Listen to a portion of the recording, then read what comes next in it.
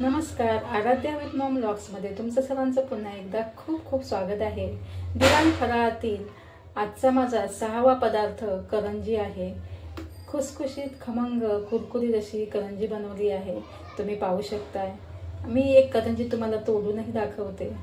Video पूर्ण बघा. Video आवडल्यास व्हिडिओला लाईक करून व्हिडिओ इतरांना शेअर करा. चला तर मग व्हिडिओला सुरुवात करूया. करंजी बनवण्यासाठी काय काय साहित्य घेतले आहे ते दाखवते. सर्वात प्रथम इथे मी एक वाटी भरून रवा घेतलेला आहे. दोन वाट्या सुकं खोबरं आहे. किसून अशा प्रकारे घेतलेला आहे. रवा एकदम बारीक घेतलेला आहे. त्यानंतर एक वाटी भरून साखर घेतली आहे. जेवढी साखर लागेल तेवढीच मी घेणार आहे.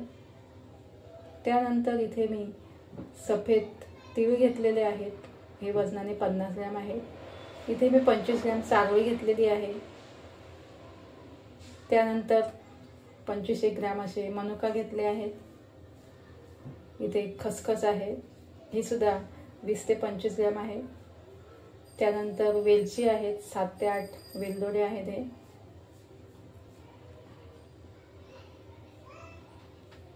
सर्वात प्रथम थोडंसं थोडं म्हणण्यापेक्षा दोन मोठे चमचे तूप घालून कढईमध्ये मी हे रवा भाजून घेते आहे बघा.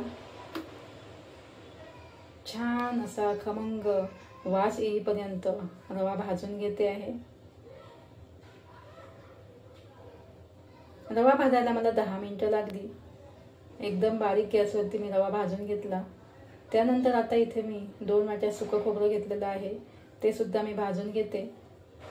सुकं खोबरं स्वच्छ धुवून त्याचे तुकडे केले आणि मिक्सरच्या भांड्यात घालून असं बारीक करून घेतलं होतं. तुम्ही किसून सुद्धा घेऊ शकताय किसणीवरती.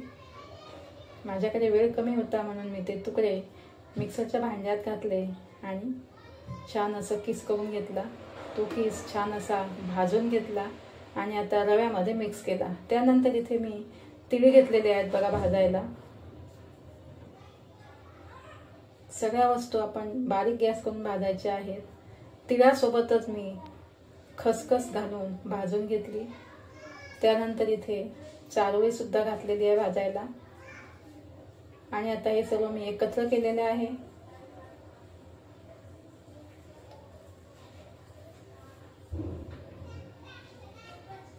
छान असं एकत्र करून घेतलेलं आहे. आता हे मिश्रण गरम असतानाच आपण वेलची पावडर घालून घेऊया. वेलची पावडर घा गरम असतानाच घातल्यामुळे छान असा सुगंध येतो. आता आपण हे झाकून ठेवूया.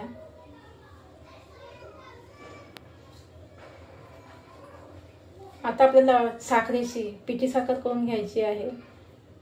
आणि आता राहिलेल्या मनुका ज्या होत्या त्या घालून घेतल्या. पिठी साखर सुद्धा मी घालून घेतली. दाखवते बघा मिक्सरमध्ये.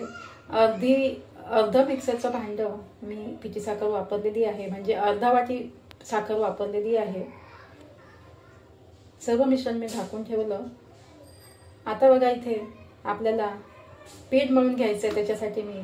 त्याच वाटीने जसा रवा घेतला त्याच वाटीने दोन वाट्या मी इथे मैदा घेतलेला आहे. चाळून घ्यायचं आहे.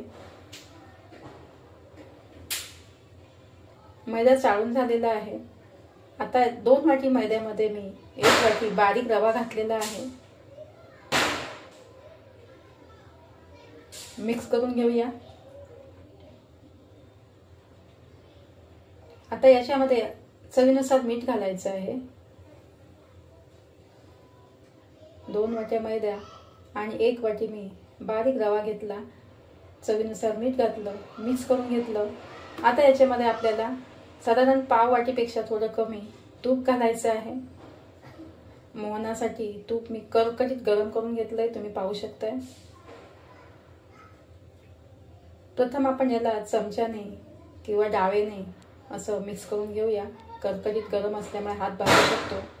त्याच्यानंतर आपण हाताने असं छान त्याला मिक्स करून घ्यायचं आहे चोळून घ्यायचं आहे. मोहन मोहनासाठी आपण जे तूप घातलं ते अशा प्रकारे लागायला पाहिजे आणि असं मुठलं बनायला पाहिजे. म्हणजे आपल्या करंजा खुसखुशीत होतील. आता इथे जी वाप वाटी वापरली होती त्याच वाटीने मी तुम्हाला पाण्याचं प्रमाणही दाखवते. हे एक वाटी पाणी मी घातलेलं आहे आणि आता मळून घेते. आहे त्यानंतर मी पुन्हा एक वाटी पाणी वापरलेलं आहे. व्हिडिओ पूर्ण बघा म्हणजे तुम्हाला व्यवस्थित कळेल. दुसरी वाटी पाणी भरून घेतलेलं आहे पण पूर्ण घातलेलं नाही. आणि अशा प्रकारे मी पीठ मळून घेतलेलं आहे. एकदम घट्ट नाही किंवा एकदम सैलसर सुद्धा नाही बघा.